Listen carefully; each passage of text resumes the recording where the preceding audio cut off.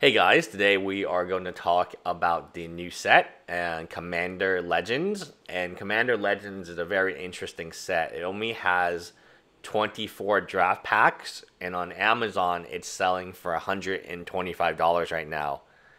Uh, some interesting things about it. Um, again, it's supposed to be drafted, and there are less packs than a normal box, but more than double the packs. So they honestly just I don't know how to say it. So a collector's booster has 12. This has 24, and then a regular booster box has 36. So I mean, it's pretty ingenious what they're doing in terms of testing how many boosters per box they can need to create to sell a product.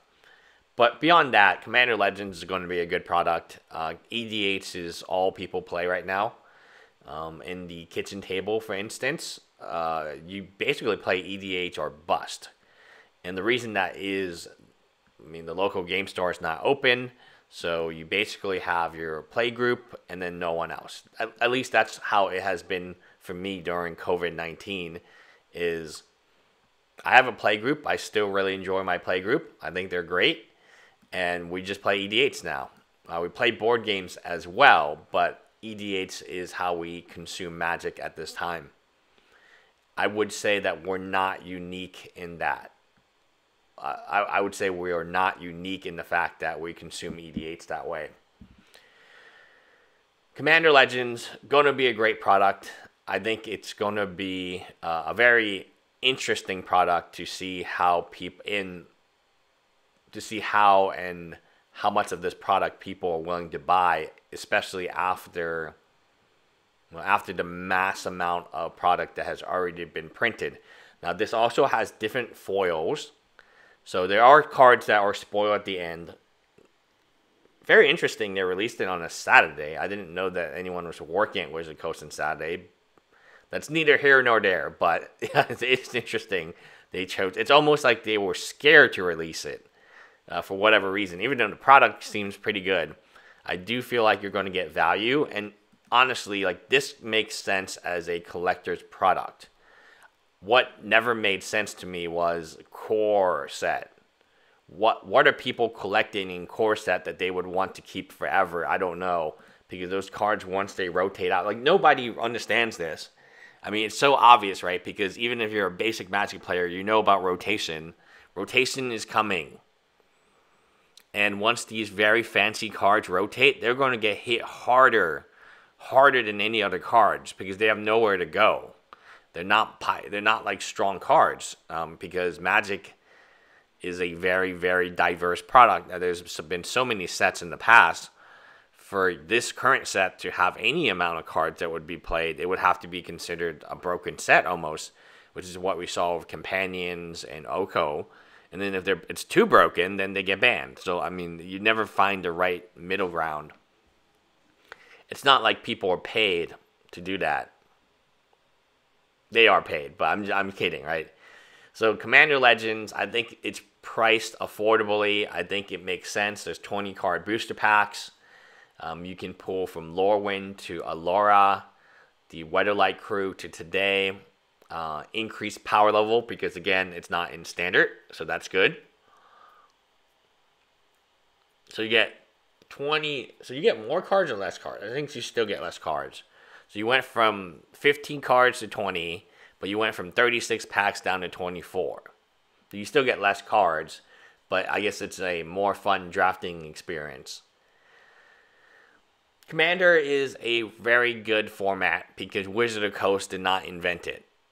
Back in the olden days, uh, it was a group of judges who used to, in their downtime, because there was a lot of downtime when you're judge, judging, uh, they would used to play this game and it was called EDH.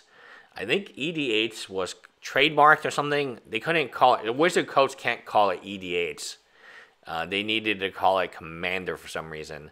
Um, and then they came really quickly. They adopted it and they came out with the product.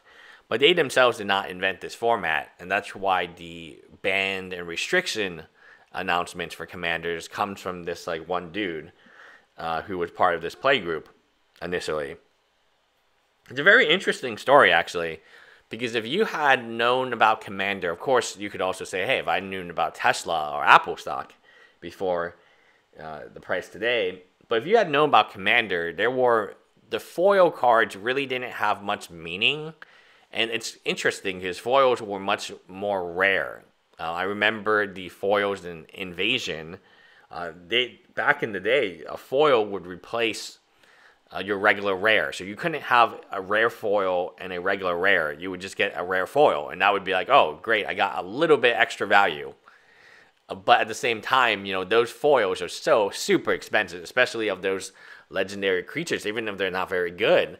So in hindsight, you know, I should have been collecting foils this entire time because at that time, but again, no one really knew uh, that EDH would become as big as it has become and that's my fear for the format is they are trying to monopolize it. They are trying. I mean, it's same with Pauper. It is a ground. It is the Magic players themselves decided, hey, we don't need four of one card.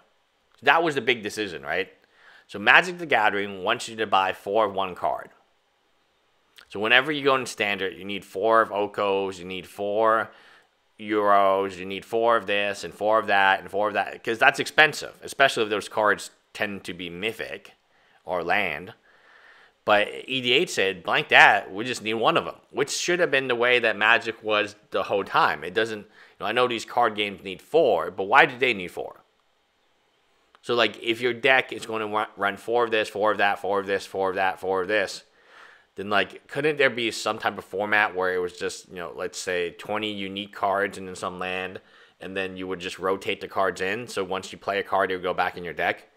I don't know. It always like shocked me that like you needed four or something. It never made sense to me. So when edh came as a format i was like yeah that makes sense. Because then you have more unique experiences. You have a hundred random one of cards. So every game is more unique than if you have a 60 card deck, 20 of them being red land, and then out the, out of the rest you have 10 unique cards. It's like, well, that doesn't seem like that great and that fun. So Commander Legends going to be great. I just don't you know, I'm going to show you the Commander Green. What was it called? Green something. And that's going to be very interesting. I'll just read you off the cards right now. So Bane of Progress, Command Tower, Freyalise, Om Omnath, Locus of Mana as as a mythic, Seedborn Muse, and Sol Ring, and then Sylvan Library. That's a pretty good one. Worldly Tutor. So will this affect the price of the older cards? Like I have a lot of Worldly Tutors. Um, no, because the artwork looks dumb. And Sylvan Library, I mean, I don't see anyone wanting this artwork. I, I don't know. Maybe it's me, but the artwork seems to be getting worse every single set. And now, of course, you're getting a foil versions of each. But there's nothing as trust me, there's nothing as good as a OG Sylvan Library from Legends. That just looks different. It just feels different. So we have some new newer cards. We have the Prismatic Piper um, that's an interesting card, uh, especially at a common. We have uh, legendary creatures at uncommon. I always felt that was a good thing to do. Um, you know, I didn't understand why every legendary creature had to be a mythic or a rare. This is pretty interesting as a product, and whenever I look at a product in terms of expected value, I do look at the land base. So there was a product, Battlebond, and Battlebond had the land that basically was pretty good. I mean, it was pretty good for EDH. Like it didn't have any downfall for EDH. It basically was a semi-dual. It's as close to a dual land as you could get in EDH without actually being a dual land. Um, you need two or more opponents, so it couldn't be a one versus one EDH. It would at least need another person.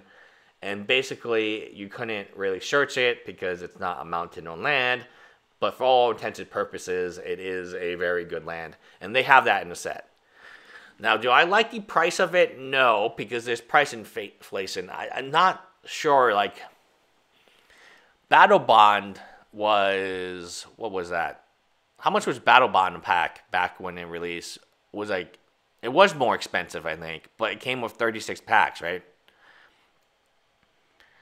I don't know. It just seems like they're making things more expensive for no reason. The per pack, so 125 divided by 24, how much is that per pack?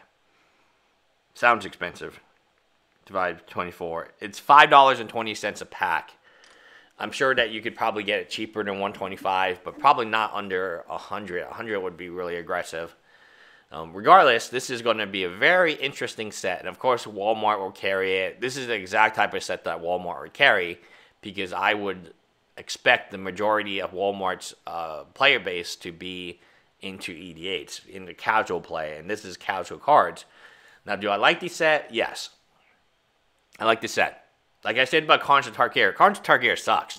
You can go back and look at it. It sucks, but everyone thought it was great because it had five fetch land. That was it. That was the only great thing about of Tarkir. And look at the price today. It's still pretty solid. I mean, all five fetch lands, I think one Windswept Heath is over $20. That's pretty good. If you want to know, are these lands good? Oh, I mean, if only we had Battlebond lands to look at and see what their current price is, and then the answer would be yes, these lands are good. I like them. The set will be good. I don't have any issue with the set.